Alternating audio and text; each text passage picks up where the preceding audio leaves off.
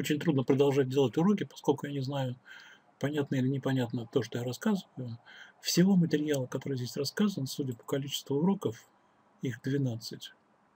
12 урок. Общее время, которое вы должны затратить на просмотр этих уроков, 12 минут максимум. В каком-то сделали какой-то проект, чтобы поделиться этим проектом, переходите в адресную строку, выделяете, щелкая левой кнопкой мыши, копируете, переходите в наше сообщество, нажимаете на ссылку, вставить ссылку и указываете тему обсуждения, поделиться. Все.